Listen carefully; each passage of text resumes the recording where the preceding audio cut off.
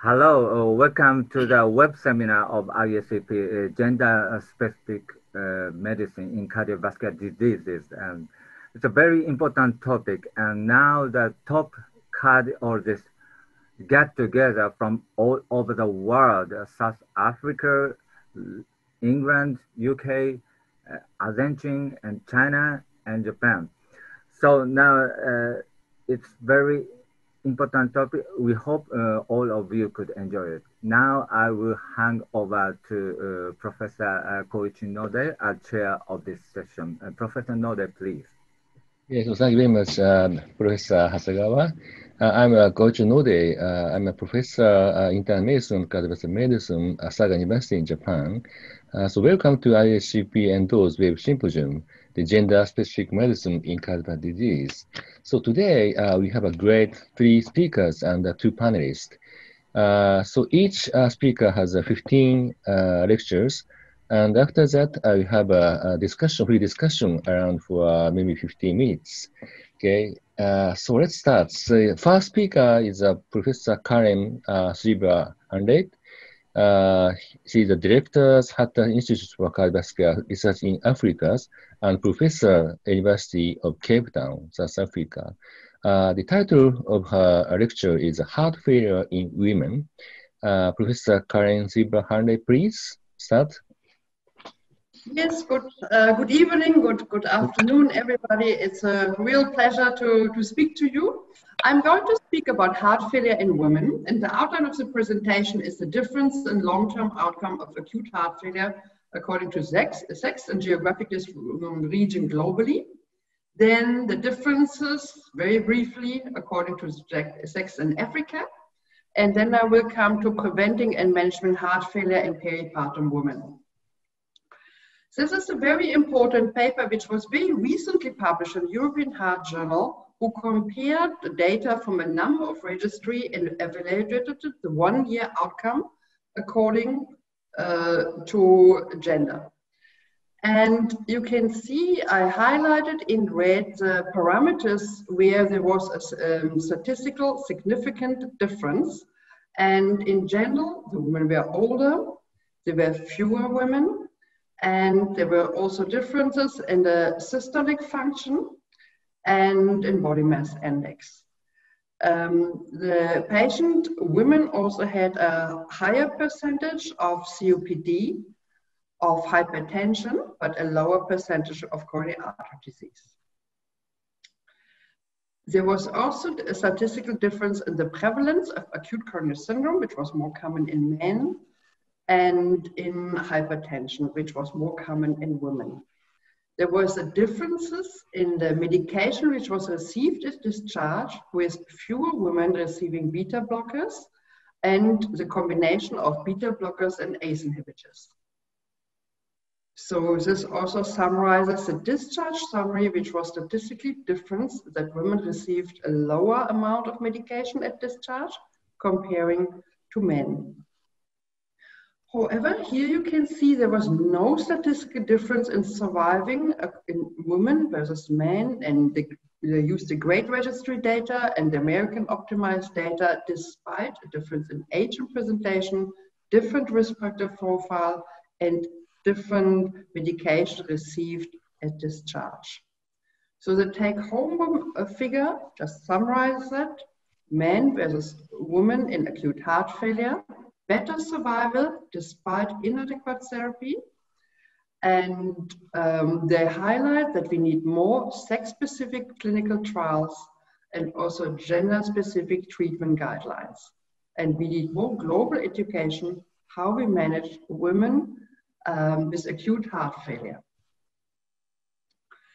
I just choose one other region because I'm living in South Africa. So I took data from the THESUS registry again here, here it's interesting. You see many more, female. If you look at the 20 to 25, uh, 29 year old, you see many more women in this age group presenting with acute heart failure.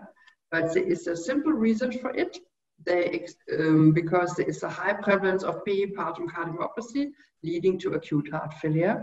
If you exclude those women, this is the next figure, it's fairly similar distributed. Again, there was no statistical difference uh, in outcome according to gender in this African cohort with more than 1,000 patients. So outcome was similar in men versus women. I'm coming now to preventing and managing heart failure in peripartum women. So how do we start? How do you risk stratify a high-risk pregnancy woman? It's important to um, know about the modified World Health Organization classification of maternal cardiovascular risk. The WHO2 maternal event rate is 5 to 10%. And here you see a number of conditions which are belonging or classified in this group. And examples is the operated cardiac defect, most arrhythmias, mild left ventricular impairment, hypertrophic cardiomyopathy, Marfan syndrome without um, aortic dilatation, repaired coarctation. So they do have a risk, but it's still relatively moderate. So under the WHO uh, group three, the maternal risk is now between 20 and 27. That's substantial. One third of the women have a chance also to develop heart failure. So this is a typical mechanical valve, Fontan circulation, cyanotic heart disease, or aortic valve, which is um, misdilatation. So those are women who are contraindicated to, actually they should not have, have a pregnancy according to all the recommendations. However, we all know there are a number of women who still choose to have a pregnancy. They have a high chance of um, heart failure or death. So that needs to be highlighted to the women. And those are, this is important for this lecture, severe systemic left ventricular dysfunction, ejection fraction less than 30%, a higher function class, a previous peripartum cardiomyopathy with residual cardiac impairment, uh, severe mitral stenosis, severe aortic stenosis, now the Marfan syndrome with a dilated aorta, um, and then uh, non-operated severe coarctation belong into this group. It's very important to avoid heart failure. So all women with heart disease should ideally have preconception evaluation which includes advice, advice on risk prediction and contraception. So what does a physician needs to do for that? You need to take a careful history, um, family history, physical examination. Everyone should have um, an ECG, echocardiography to assess not only the left ventricular function, but also right ventricular function. Exercise has to be considered for objective assessment of the function class, and careful counseling, not only about the maternal risk of complication, the impact of the therapy, the risk of miscarriage, but it's also highly important to speak to women about the risk of early delivery, small focal gestation age children, risk of fetal congenital heart defect. Um, many women are not aware if they have substantial heart disease and they're planning a pregnancy, there is a high risk of not a good fetal outcome. And that needs to be also discussed. And there are dedicated publications on that, which, which goes into much depth into that. So how do you approach a peripartum woman presented with a high risk condition or have heart failure? It's important to understand if the patient has already cardiac disease, are there any comorbid aggravating factors, and then it needs to be decided if the pregnancy is still early, in case uh, a patient is already in heart failure, has a low systolic blood pressure, and is, let's say, 12 weeks pregnant, it's advi- or 11 weeks pregnant, it's advisable to not continue with the pregnancy. However, if the patient is, for instance, already week 30, uh, you plan early delivery, so it's, a gestational stage is extremely important to plan a safe pregnancy for the woman, but also for the child. You manage according to an underlying disease to avoid heart failure and to manage heart failure. And I don't have time to go into that, but there is dedicated literature where this can be looked up. What is important, there are also general factors. So young women or older women have a higher risk in general to develop heart failure um, poor maternal education is strongly linked to poor outcome, low household income. Long distance to appropriate care is strongly correlated with poor outcome. maternal health factors like late presentation, coming late to, uh, to medical attention. However, seek guidance. They're always important if a multidisciplinary team. There are detailed guidelines on the management of heart disease in pregnancy, which are highly important to prevent heart failure. Medical management. It's very complex and it's important to define if a patient is non-pregnant, so planning pregnancy, early pregnancy, the effect on the fetus with many drugs, late pregnancy or postpartum. Uh, it's important to understand the physiology of pregnancy. It's complex and it interferes with many of the medication types. The FDA has changed their uh, recommendations, so each medication needs now um, current um, labeling on the impact on pregnancy, lactation. Uh, so the labeling has changed for the FDA. And they also published a very detailed algorithm on uh, the, the risk of all the different medications. You see also medications are contraindicated in pregnancy. Nobody can remember all that who is not regularly dealing with this patient, so it's important to look it up. What we do know now that beta blocker are safe in pregnancy. They, they do have um, a small impact on fetal growth, but it's minimal. It's less than 100 gram for the fetus, but it seems to be really a beneficial effect in women who have a substantial cardiac disease.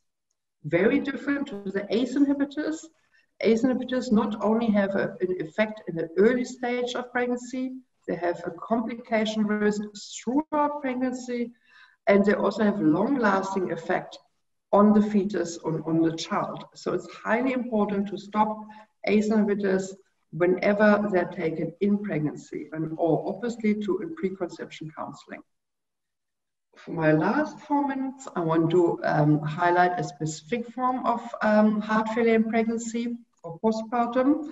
It's peripartum cardiomyopathy. It's an idiopathic form of a cardiomyopathy, presents with heart failure towards the end of a pregnancy or the months following delivery, a diagnosis of exclusion, and the left ventricular ejection fraction is usually below 40%.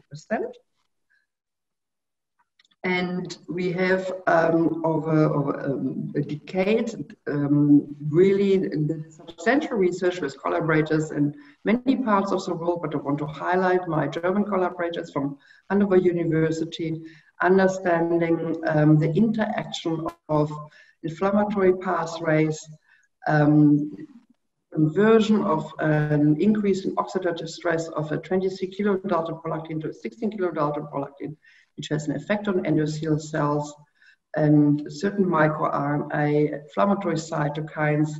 And, but one can interrupt this pathway with bromocriptine, which has now been included in the European uh, guidelines of cardiology. So in patients with PPCM, bromocriptine therapy may be considered to stop lactation, enhance LV function as a class uh, 2BB, and also, uh, it's important here, what I mentioned before, enforcing WHO classification of maternal risk and discussion of use of bromocriptine in pregnancy is listed on a new concept in the 2018 um, um, guidelines.